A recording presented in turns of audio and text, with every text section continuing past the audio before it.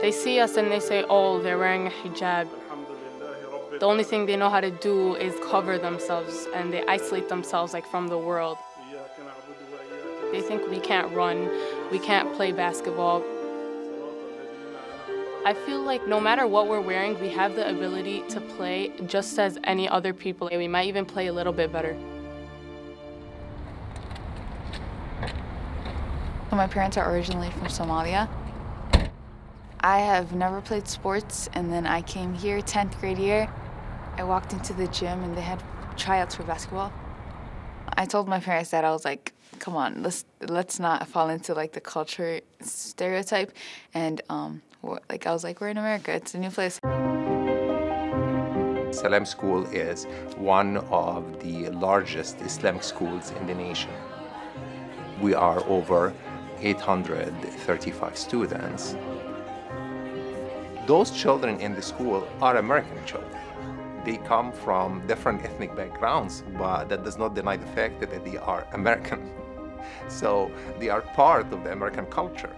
So their love for sports is pretty inherent. We started with just one boys' eighth grade team way back in 2003.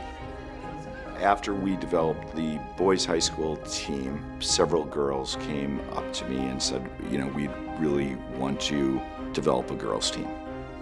I think it was hard to actually encourage many of the parents uh, initially to kind of accept some of this. Because of some cultural issues, uh, it was a bigger challenge to do this for our girls than it was for our boys. the parents do have a fear of like not necessarily like something bad happening to us but just like maybe the looks we may get or you know what how we'll be spoken to or something like that Part of their apprehension was preserving the identity of the girls as Muslims, and we were able to explain to them that this is all about preserving their identity and introducing their identity to others. It was starting learning how to dribble, learning how to pass, learning how to make a layup. And we didn't get there the first year. Uh, we didn't get any wins either. My plan was let's get somebody in here that can get us more than one win a year. I was just a rental car agent. It was fun. I liked it, but wasn't like fulfilling. And then I think what three years ago now, my high school coach, he is good friends with the boys coach here, Coach Klopp, and he's like, you know, I heard about this coaching opportunity. It's super low commitment. I think immediately after the interview, when I was like, what did I just get myself into? I don't think I knew one Muslim person, so I knew nothing about the culture.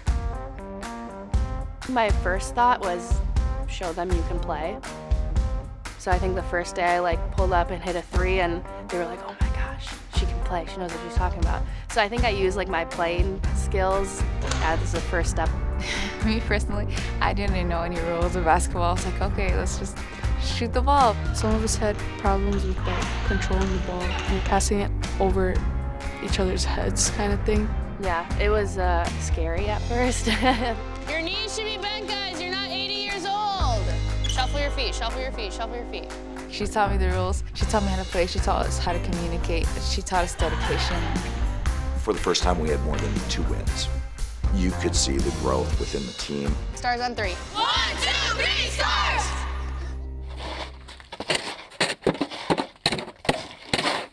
we walk onto the court and you can just tell right away that they're like oh you know this is like easy we're gonna win. Because they're not taking warm-ups at all seriously they're all laughing joking around.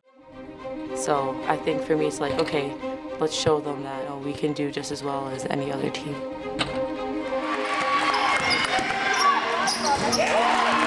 It was a snowball after they started winning, and people actually started asking the question, like, oh, you have a game? Like, who's it against? And, you know, they actually started caring. So the fact that people of their age were interested made them more confident in their ability as well.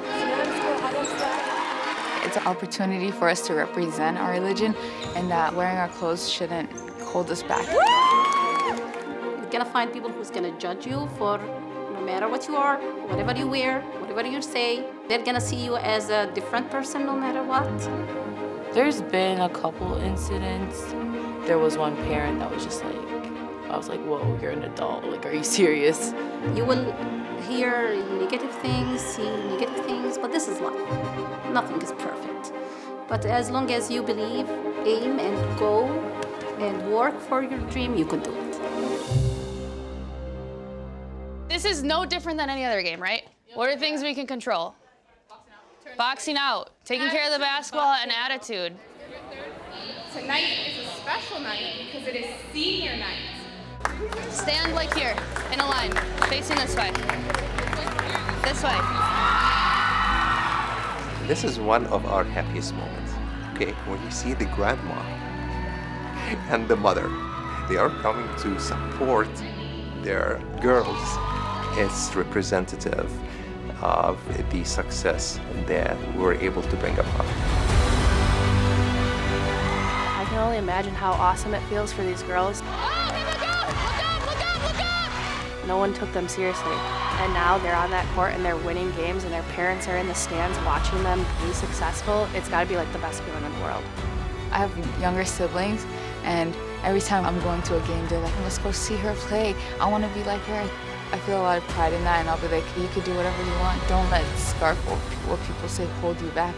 In our own special way, we're kind of like representing the greater Muslim community.